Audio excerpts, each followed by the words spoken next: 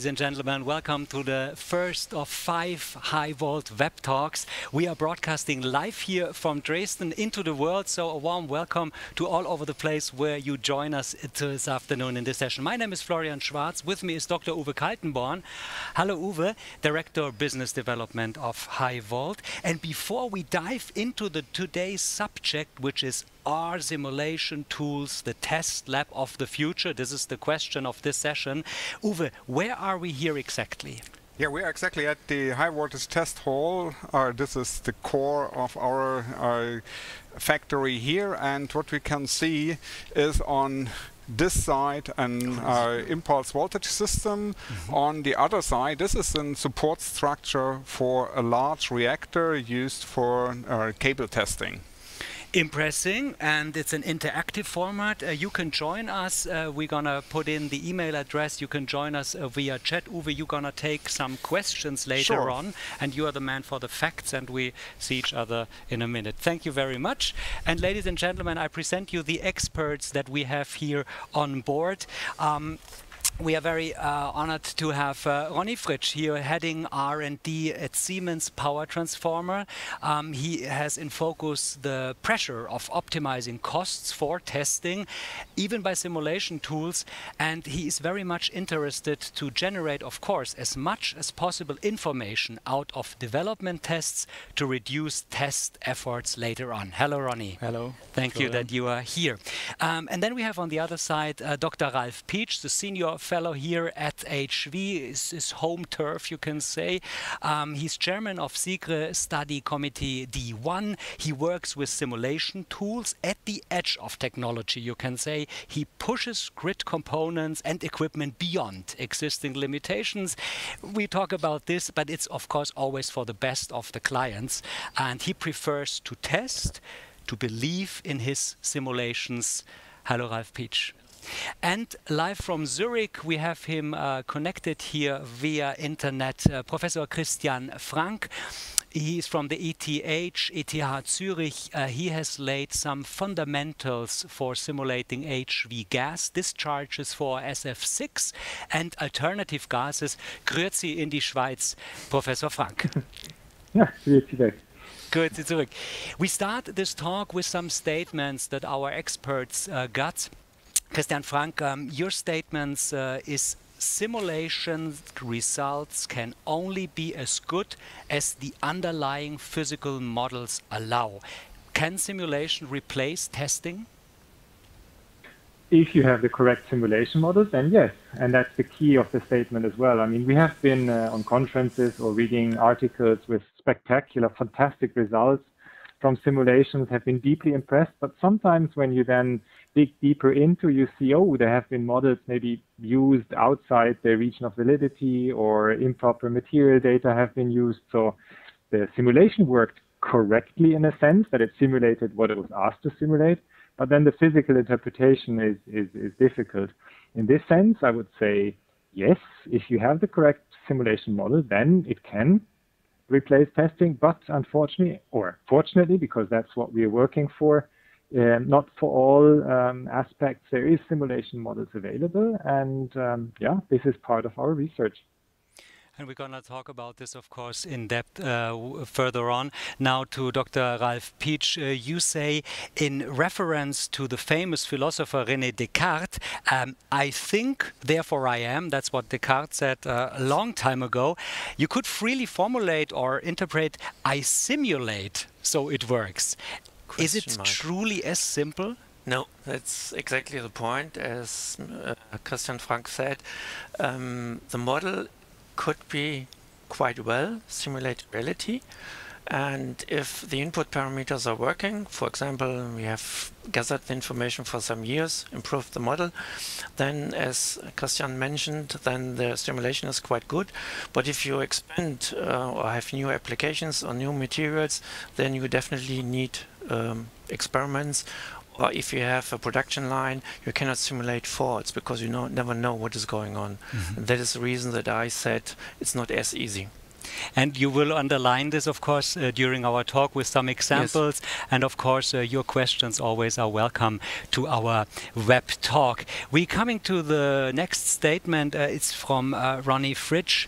And he says quality must be verified by appropriate methods and procedures to ensure safe and reliable operations throughout the expected service life.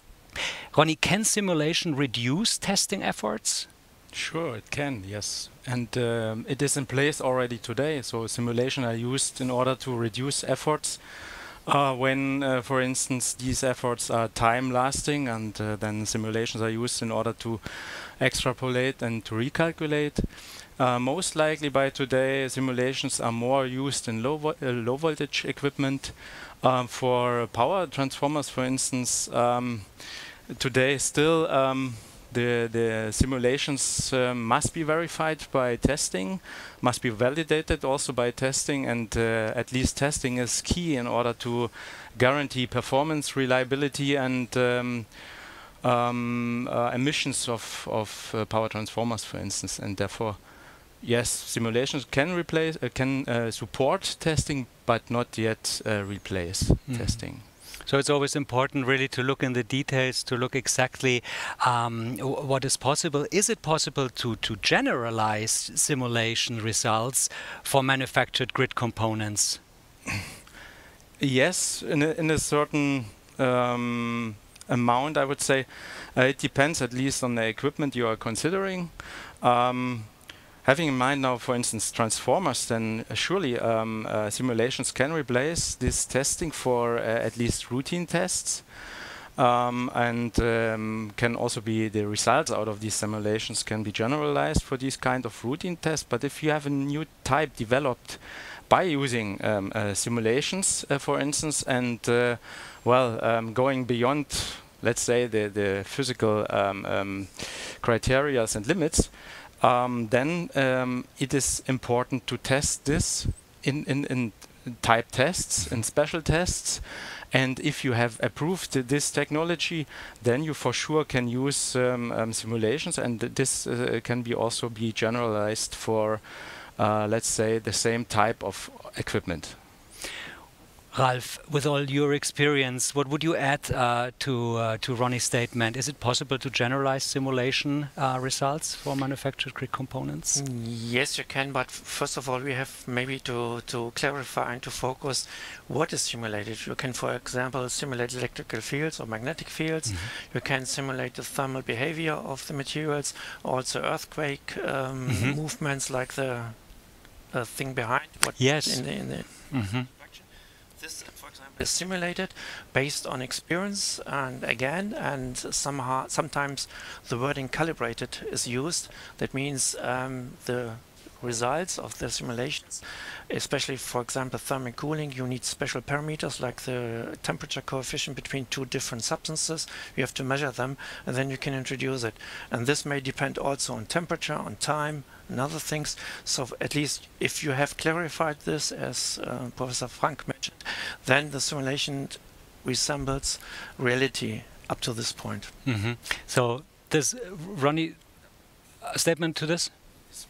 let's say just to underline this uh, simulations are uh, just as good as uh, the tolerances inside the equipment mm -hmm. and the mm-hmm. parameters you you are aware of and the tolerances inside the par parameters and if you yeah, if you are not uh, um, a key in handling of, of these uh, uh, things, you, you have to test at mm. least in order to approve. And then simulation is just, um, let's say, some supporting, um, supporting tool in order to verify performance. Mm -hmm. And, and simulations are based always on a model. It's mm -hmm. clear. Uh, let's on a computer model. On first. a computer model, yeah. whatever. And let's maybe the, you can focus on the electrical circuit, like mm -hmm. uh, it's uh, like capacitor, inductance, and so on and so on, and nonlinear elements. And that is quite easy. The results are given, but the question is: Are these models for the transformer are correctly uh, giving the behavior of the transformer. Mm -hmm. And if you make, and sometimes the wording calibrated is used, that you check if the output resembles the experiments, and then you can rely on those stimulations. Right. And is it getting, over? Yes. Yeah, so, uh, First maybe, question. maybe we can really dive a little bit more into practical uh, topics here. Absolutely. There's a question from Janusz Czeszowski, and uh, he is asking, how can you simulate local damage of insulation material introduced during the production process? I would say by best guess. well, you, you, what you can be aware of is for sure what kind of damages you will have or you can have during a manufacturing process. But um, uh, considering manual manufacturing, not automized manufacturing, then this is uh, really um, uh, difficult in order to determine where will this uh, failure happen or where will this uh, um, uncertainty be uh, um, um, inside the equipment, and you can just um, well consider this if you are aware of the physics behind what does this uh, um, uncertainty and quality issue really um, be linked to. Ralf. And in addition to that, um, there's a big contrast if you look, for example, to automobile, to cars. Um, there you have a lot of statistics. You have millions of cars or 100,000 of the same type. So if you are the customer and the car is not working, then you are the only victim, so to say. Mm-hmm. But in the statistics of the production, we can handle that much better. But in case if you produce individual parts, let's say five or three times, mm-hmm. then this question is very difficult to handle because you never know where it happens because it depends on the dimension. Where is it in three space in the material? And then you can only guess and we have a low statistics. So this is really bad thing to simulate it. That that's the reason to make experiment if the damage is really there and if it's yeah harmful or not. That's why you have to be here at Harvard much more precise even. Um, Yes. another question or? There is another question, but I like to add that uh, later on. I, maybe we also have, uh, maybe as a comment from my side, there must be also a, differ, uh, a difference between uh, transformers as well as cables. I think with cables it's much easier Yes. as you have a continuous production than with uh, a lot of handwork, as we know that from power transformers. So we keep this uh, later on, this question. Uh, we go to Zurich to Christian Franck. Um, can you give us a few examples where the physical models are in a limitation in simulation, where they cannot go further? Yes, uh, of course I can. So this is one of our research uh, topics in, in gaseous dielectrics. So for example, the question, what's the voltage withstand of a certain device? I mean, this is one of the tests which is typically done in a high voltage lab uh, at the end of production or for commissioning or for research and development. And uh, there's multiple steps. So the first step, as was mentioned before by Ralf as well, is to calculate the electric field distribution. This is um, well-known phenomena, well-known physics. If you know the material properties, like especially under DC, or let's say under AC, uh, the permittivity of the material, then you can calculate the electric field distribution very, very well.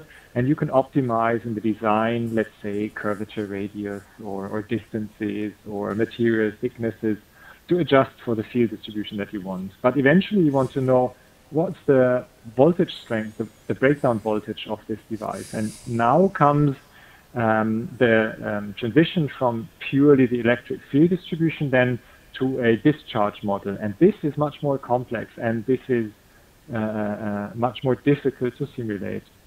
There's statistical effects because it's a multiplication over millions of electrons. Um, there's a certain statistical dependence of, of initiating the discharge. So when does the first electron or, or charged particle occur at all?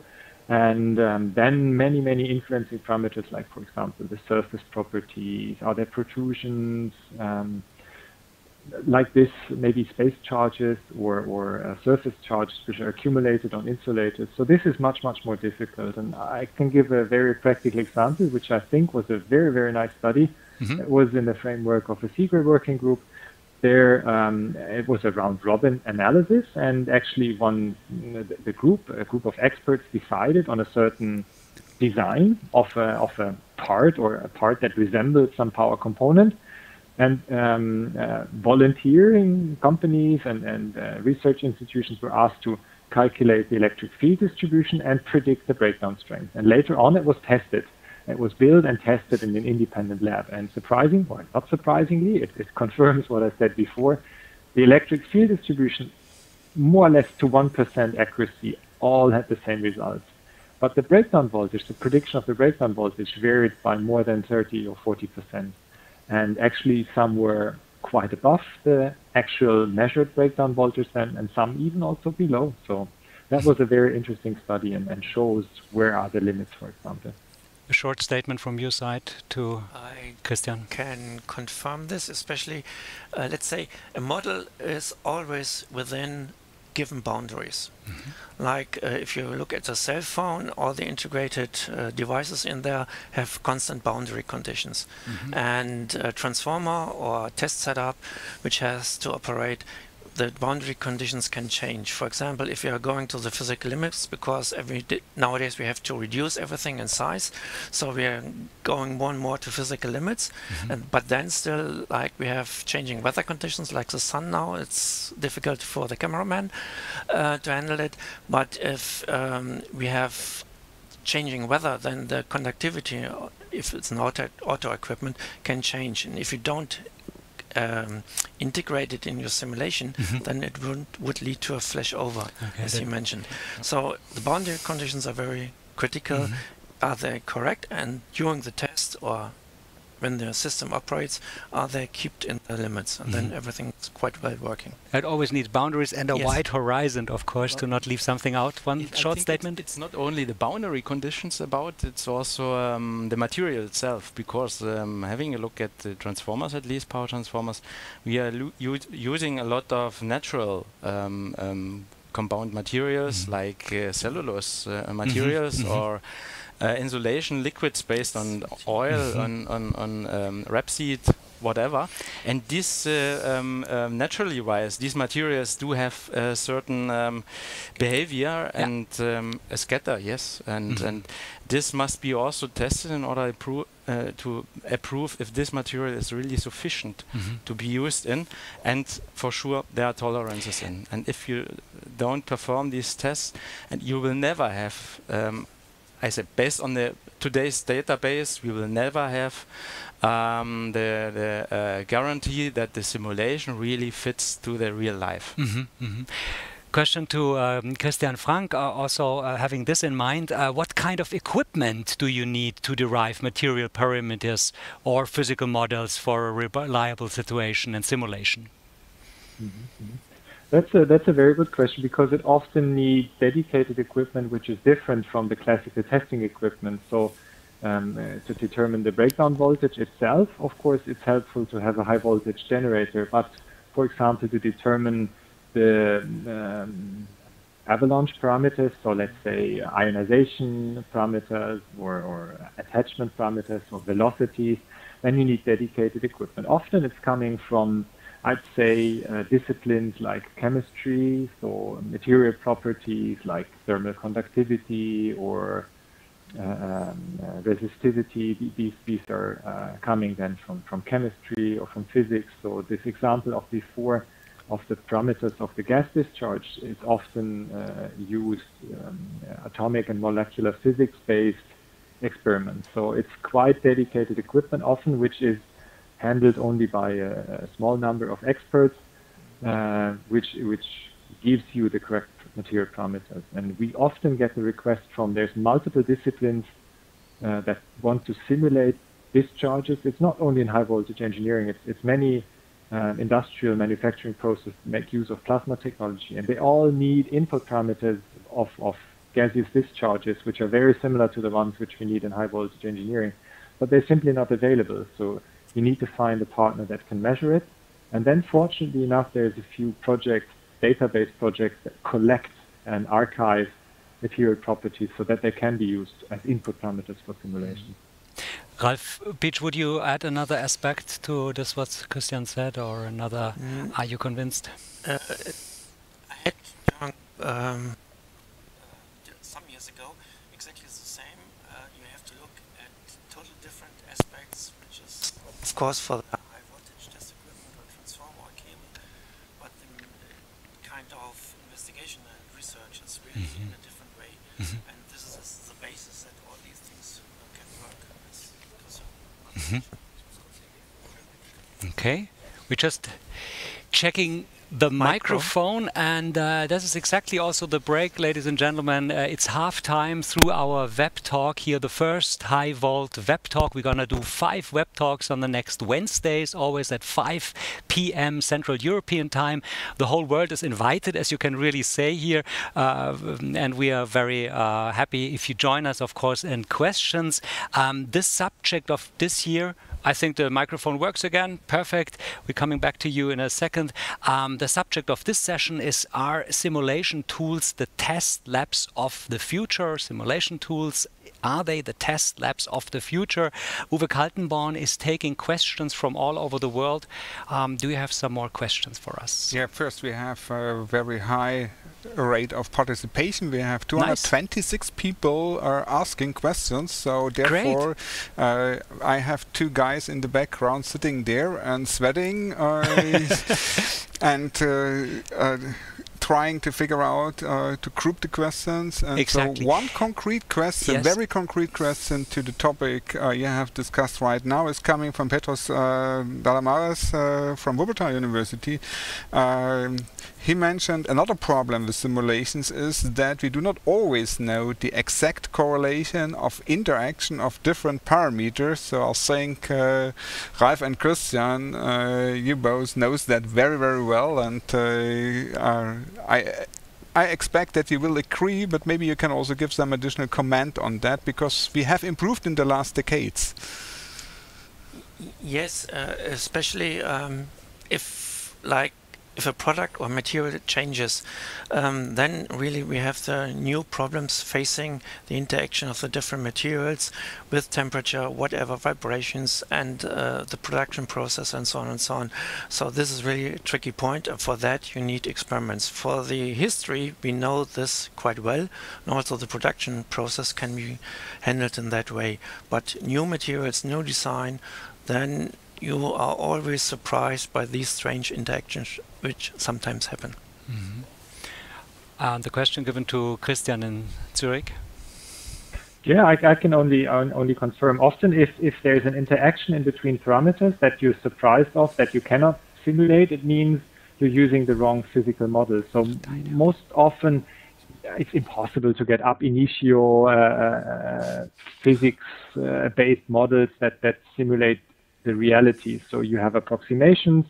That's what a model is based on. It's an approximation of the reality. And you select something based on a certain set of experience that you have, a certain set of measurements that you take, and then all of a sudden you, you change a different variable, a different parameter, if I understood the question correctly, and then all of a sudden you see an unexpected result. And that means apparently the model which you have chosen was incomplete. It might, might have been appropriate for what you have used it before, but it's not reflecting the, the full truth. So changing another parameter may may yeah lead to a completely different result. Mm -hmm.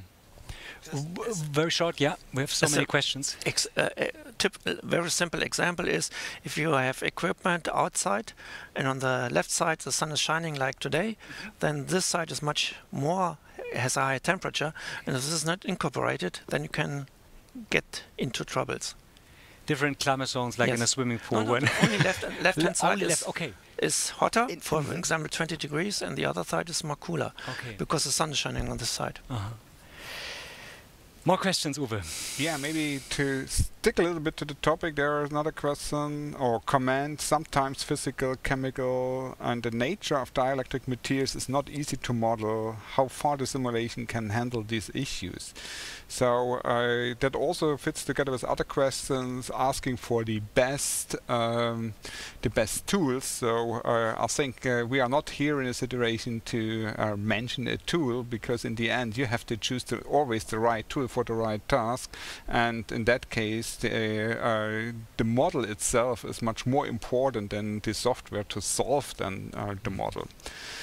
Uh, regarding the material topic, so uh, from my personal experience, it's so that uh, you need to understand the processes behind. It will be aging processes, that will be the physical processes, uh, but maybe I think there also the other colleagues can add something on that as. Well,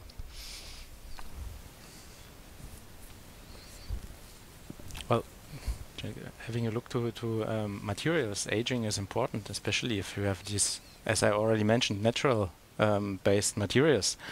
And um, material parameters will change among the lifetime of the of the equipment, and uh, this must be for sure considered in the simulations um, during design and development of the equipment, but also during testing, uh, if you are going to use simulations for testing. And if you don't have the appropriate uh, um, physical models behind how this aging is going on and what is result of these out of these agings, what is uh, resulting in, in, in, what kind of uh, parameter influences, then you will never gain an accurate and sufficient uh, result out, out of that. I would stay for the moment uh, with Ronny. And of course, ladies and gentlemen, some of the questions that are not answered directly here in this talk, of course, are answered at the end of the session. Then also, of course, you can write us still, and then we can continue, uh, not here in the chat, but of course, like the subject that you uh, participate on this web talk, and we can like answer it, and then we can perhaps integrate it in one of the next sessions. Um, Ronny, um, let's go to uh, the topic of short circuit testing uh, of power transformers. Here it's actually allowed to be proven by calculation. The next evaluation of the IEC standard is tending to fix physical testing again. Is, is that kind of a back roll?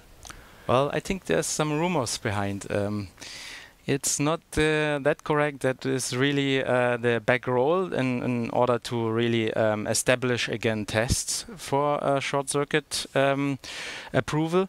Um, but uh, it's a new way of verification of uh, short circuit withstand capability of the transformer itself. Um, so new IEC will um, uh, will require to verify really the uh, short circuit withstand capability by having referen uh, references and by providing simulations which are linked to these references. Mm -hmm. And uh, if you cannot provide this, then for sure maybe it may may appear that um, the operator customer will require um, this, uh, again the special test for short circuit testing. Yeah. But what what we have to make clear, short circuit test uh, is one really of the worst case tests we can have.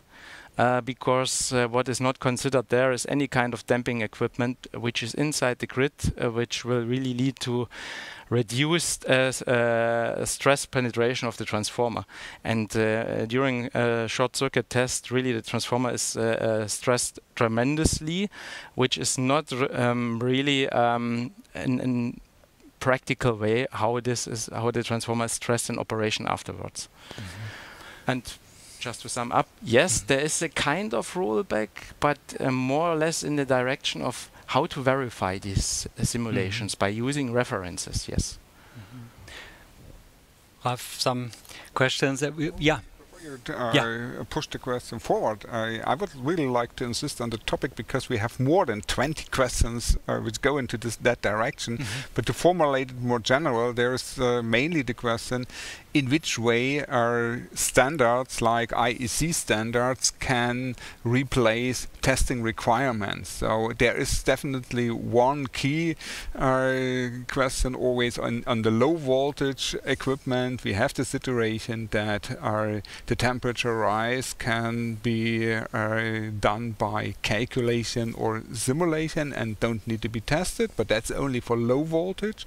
And uh, I think uh, from the complexity of the high voltage equipment, we always have this limitation that we would like to do real tests. But nevertheless, we have seen that there is a, a possibility to put that into standards. And the question is, how will that evolve then in the future? And maybe what will be then the contribution on CIGRE? So uh, can maybe uh, take that forward. And uh, what is the status are on that on our, on on the academic uh, world? Maybe some words about CIGRE is divided in 16 study committees and one for example is Transformers A1 and um, the questions which are handled there in working groups uh, they are coming from the audience not like today mm -hmm. but then that uh, so-called yeah, working group is founded which can handle uh, and try to answer those questions and those questions arise again and again mm -hmm. because um, different designs, different materials are used, and then the questions open, which we just mentioned, and they have to be investigated theoretically or by experiments. And to Christian? I must admit that I'm not involved in activities that really aim for standardizing simulations uh, in, in, in, high voltage engineering. So I think there is a lot uh, a lot that can be done during the development phase. Maybe there can also be some things done to extrapolate from certain known regions of operation to, to longer regions of operations. I've, I've, I've seen examples of, for example, disconnector switching with, with certain bus bar lengths and so on, but I'm not involved or aware that there is uh, really activities going on that replace testing for definite uh, in, in some standards. Great. Uwe, before we go in the last round, some more question to this subject? Yeah, so I, as that also goes into the direction of Christian, uh, because it goes uh, into the uh, topics you are doing in, in, in, Zurich for the for the gases uh, has simulation of dynamic processes the same quality as steady processes, especially for the insulation behavior. And I think uh, I expect a very clear, dedicated answer from your side. Oh my goodness, that, that's about the most complex thing you can you can ask.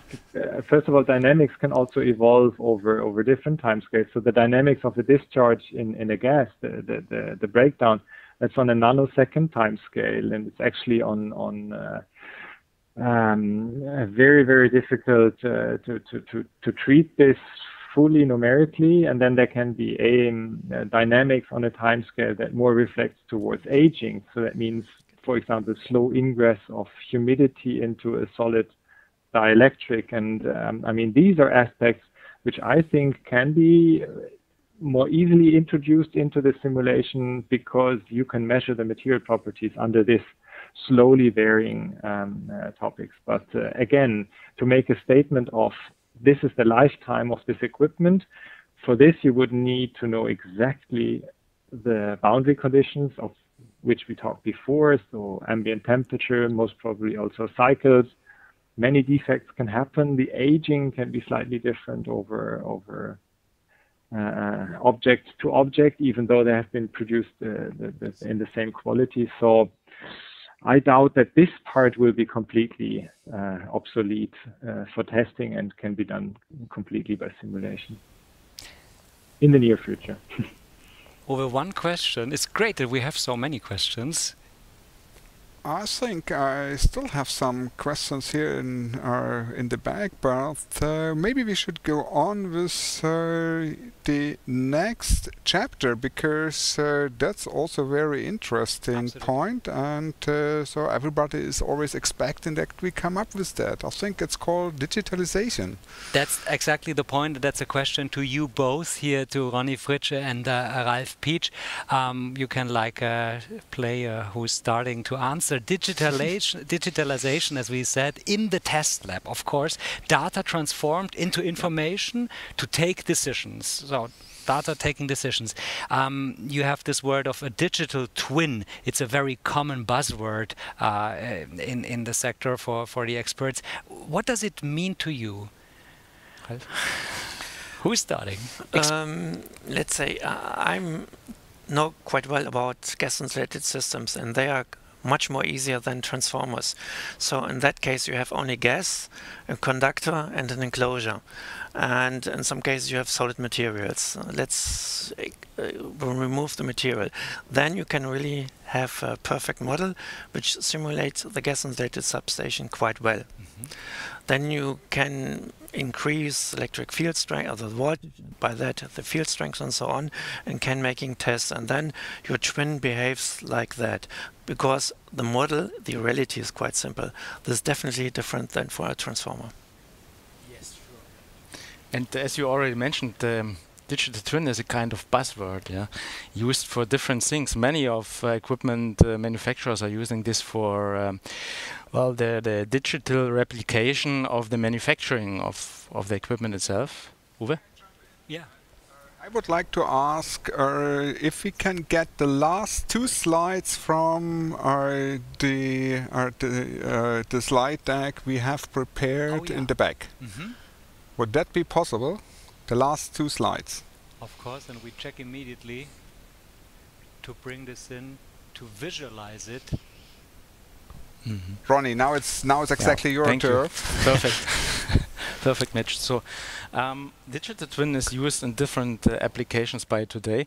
So our idea of a digital twin, let's say a holistic digital twin for the uh, whole equipment, uh, beginning from the development um, or design phase of, of the equipment itself among the uh, manufacturing and afterwards during testing uh, and uh, for sure also in operation. And uh, that's why we have introduced a new kind of digitized product, Transformer Advanced is, is it called, for uh, large power transformers, where we are using simulation capability in order really to um, simulate in parallel to the operation of the transformer the um, physical behavior of the transformer inside in order to, to determine uh, aging behavior, in order to determine loss of life, and uh, in order to uh, check if um, anything is really uh, in, in good mood or if there is uh, anything um, going wrong wrong in the wrong dire direction. These simulations are verified by measurement of uh, some parameters of the transformer during the operation. And I would say um, having this in future, this is the key at least in order to think about if we will be able in future also to replace testing by simulations. Having this uh, uh, large amount of data available, which puts us in the advance in order uh, in the situation, in order really to um, create a lot of knowledge about material behavior, material interaction, material aging.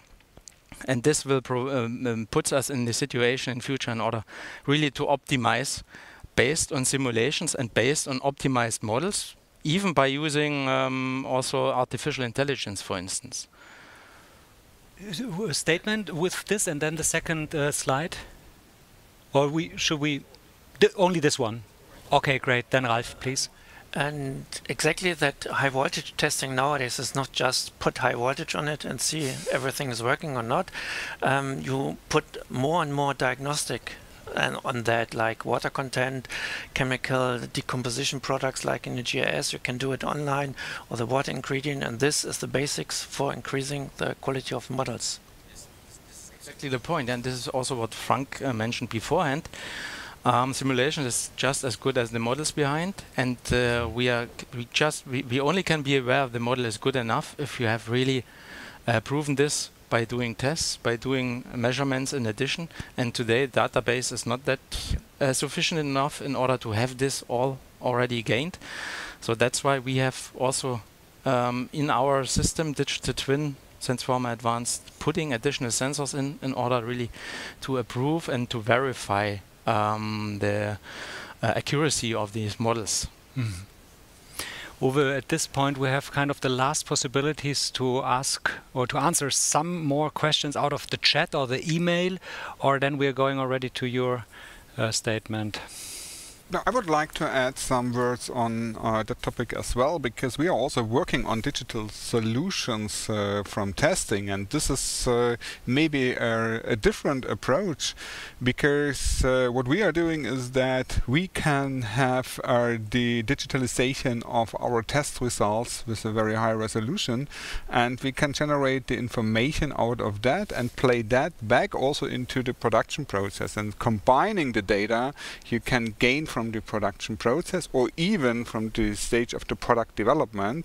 So you have uh, along the generation or the or the buildup of the equipment already sufficient data which can then be transferred into the phase of operation and uh, with additional measurement this will be then on-site measurements that can be then automatically integrated and the lifetime consumption can be estimated out of that. So uh, we have already done solutions where we integrate the test system into uh, ERP systems of manufacturers, transformer manufacturers, and for that uh, we can utilize the test data also to optimize the process of production as well as the uh, production parameters and even the product design process. Nevertheless, we still have also some questions, yeah. and uh, one topic uh, which uh, goes also then a little bit more than uh, to uh, CIGRE as well as uh, universities is the question in which way we can do simulations and predictions with simulations for stochastical processes and especially for the prediction of the breakdown of dielectric uh, insulation systems and uh, in which way we uh, can combine or in which way we can describe the statistical or stochastical processes in, in a correct way by simulation and how far we are or, or, or, what what will be the difference between the simulation results and the effective results. I know that there will be no detailed answer. Yeah but maybe we can get some inputs. With a long question, short answer in the round. We start with uh, we start with Zurich. Let's go to Christian. Okay, the, the challenge is here the short answer. Um, yes, there is a lot of statistics involved, um, the statistics of the breakdown process itself, but often uh, the origin of the breakdown. So, for example, the defects in the material. So, one aspect of, of covering statistics, for example, is to make a systematic uh, screening of all possible options and locations of failures, different sizes, different uh, uh um, uh, materials, or different severity of this um, uh, um, manufacturing, and then make a probability distribution of how likely it is that this failure will occur, and then you can map this uh, to the result of your simulation and get maybe a probability distribution of the breakdown voltage itself if I want to keep it short, I limit it to this aspect. Excellent. Just Ralf? maybe two sentences in addition to that. Uh, there are limits given by nature that the statistic or the variation has this size. And if you're going to this limit, then you cannot improve the models because the, the, the scatter is there. Mm -hmm. And you can try to handle it um, with the boundary conditions, technically whatever, but still you will have this scatter, especially in breakdown. This is always the same question also for us. Up to which limit can we go? Mm -hmm. But then there are the physical limits which we can't change. Okay. Ronny? On short note, uh, nothing to add. I would say. Great. this, this is uh, sorry, just please, just one uh, additional sentence, and this is uh, at least this is a challenge also in design doing simulations. Yeah. yeah. And that's fine because we, uh, of course, it's always uh, interesting to have more questions than we can uh, uh really answer here. We do a very short uh, statement round at the end of this talk. The subject of this talk, our first HIGHVOLT web talk, which we do now every Wednesday here at 5 p.m. Central European Time. Uh, this today's topic were our simulation tools, the test labs of the future. One or one and a half sentence from Christian, Ralf, and Ronny. Christian, please please? I would say they are not the test lab of the future, but they will be more prominent within the test labs of the future. More prominent? What would you say? Um, and uh, we will also gain more information like water content, content inside the material, the uh, special design, the different kinds of materials, and then that can improve the model. You need more parameters measured. Okay, and Ronny? Well, simulations will put more transparency and uh, more knowledge on our equipment. Um, but at least um, we do have, as an um, equipment manufacturer, we do have the responsibility for public, for environment, and for health and safety in order to provide a rea reliable, safe, and and uh, um, um, product uh, working in, in, in, within the given specifications. And this we have to um, guarantee uh, and to verify by doing tests. Mm -hmm. Thank you very much. Before we come to the end, so uh, the value of simulation is quite uh, on its own fairly limited, and uh, we discussed this. Of course, the discussion goes on, of course, because we are here in a live process, and this is so to, to say the the questions of today were the questions really of today, and uh, the the research is going on. Thank you very much uh, to Zurich, to uh, Christian Franck. Stay in the line for the moment. To Ronny Fritsche and to Ralf Pietsch. Herzlichen Dank thank you very much to Uwe. And we have a little gift for our guests. Oh, sorry, I'm uh, walking out of the camera. You see, this is live. It's the uh, the church here in Dresden out of chocolate. You will all know it. You can put it in your shelf. And the best now, we give it to uh, Zurich. And um, Christian, you have to print it out uh, with a 3D okay. printer with Swiss chocolate. Uh, you mm. see, it's it's excellent. excellent. this is all. This is your church, um, die Frauenkirche aus Dresden. And thank, you, uh, thank you very much for your participation. I put it to Uwe. Ladies and gentlemen, okay, yeah, we have this wonderful view now, and you have seen that we were live because the sun was like moving during our 50 minutes now, really to the west. And uh, here in Germany, uh, in about uh, some hours, we have sunset. Thank you very much. I think I forgot nothing. I said thank you, Uwe. And also thank you to our colleagues uh, Uwe and Alex, uh, which uh, collected the questions from our, from our participants. Absolutely and there will be the outlook for the next session. The next session, you will have the outlook in a moment here on a screen. It's on next uh, Wednesday at 5 p.m. Thank you very much, and we hope to see you there. See you in one week. Goodbye from Dresden.